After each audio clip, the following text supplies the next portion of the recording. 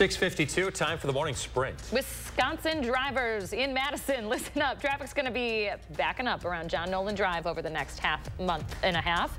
The road is going down to one lane underneath the Monona Terrace due to work replacing the plumbing of that building. Backups are expected, so you should try and find an alternate route for your downtown commute. Watertown police are investigating a crash that left two people dead over the weekend. The crash happened right here on the Highway 26 bypass. One car was traveling in the wrong direction, and that led to a head-on collision that killed both drivers. Two passengers were also rushed to the hospital. Their condition is currently unknown. A former state Supreme Court justice will have to turn over records related to her work advising Robin Vos. A Dane County judge made the order. It's over the three-judge panel the House Speaker hired to consider whether to impeach new Supreme Court Justice Janet Protasiewicz. Former Chief Justice Pat Roggensack was on the panel. She has 30 days to produce any record she has involving the case. A man who pled guilty to a homicide charge in August will receive his sentence today. Jeremiah Kane was originally charged with first-degree intentional homicide, which is a felony that can carry a life sentence. He pleaded guilty, though. He took a deal to a lesser charge of first-degree reckless homicide.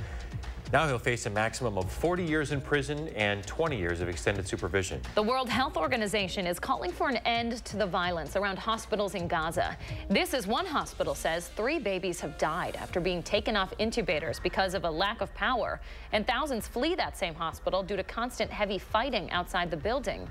This is the IDF claims to have tried to help the hospital, but were turned away. Credit rating firm Moody's is lowering its outlook for U.S. credit to negative from stable. The firm cites political polarization in Congress and rising interest rates as reasons. Still, Moody's gives the U.S. a triple, uh, top AAA credit rating on its debt.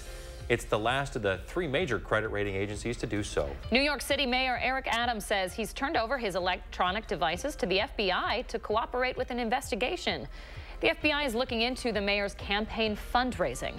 This is over whether Adams' campaign conspired with a construction company to funnel money from Turkish nationals to the campaign. Adams himself has not been accused of any wrongdoing yet. Republican South Carolina Senator Tim Scott is no longer running for president. He announced last night that he is suspending his campaign. So that leaves five GOP candidates left running for president. One Republican official supportive of Scott's campaign told CNN that Scott had an optimistic and hopeful message, and that's just not where the base of the party is right now. A person is in custody this morning after allegedly driving onto the tarmac at the La Crosse airport. Around 3 in the afternoon Saturday, police received a call of somebody driving through a locked gate and then boarding a private plane. Staff were still on board. Police were able to block the aircraft from being able to leave the tarmac. Officers arrested the person and nobody was injured.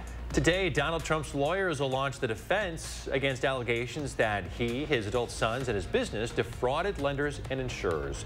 Donald Trump Jr. said to take the witness stand first today. Trump's lawyers have said that they'll likely call Eric Trump and the former president himself back to the stand. All three testified when prosecutors made their case over the past few weeks.